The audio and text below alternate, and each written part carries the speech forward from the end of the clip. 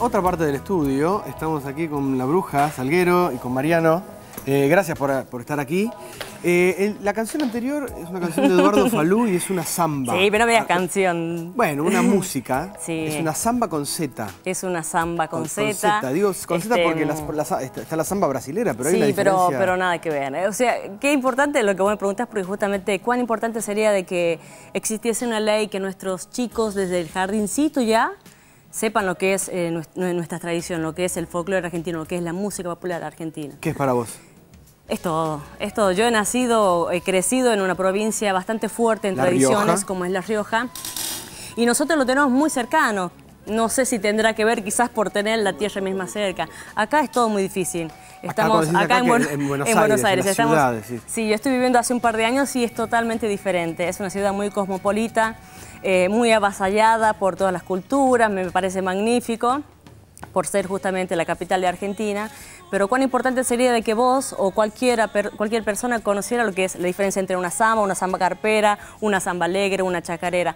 Y saber que no solamente el folclore es la música, sino tiene que ver con, con la vestimenta, con la comida, Con la relación con la con la manera de hablar, con la tierra. Sí, quizás una canción de cuna que una abuelita le canta, que, un- que una mamá le canta a su hijo, puede venir de abuelita, es muchas cosas. Claro. Adivinanzas, artesanías, muchas cosas que es un material bastante interesante para trabajar en, en- en todo lo que es la escolaridad. Pero ¿cuál es la diferencia entre la samba argentina con Z y la samba El brasileña ritmo, con S? el ritmo y, y- y- y el origen de cada uno son totalmente diferentes. El- todo lo que tiene que ver con la cultura brasileña tiene que ver con África.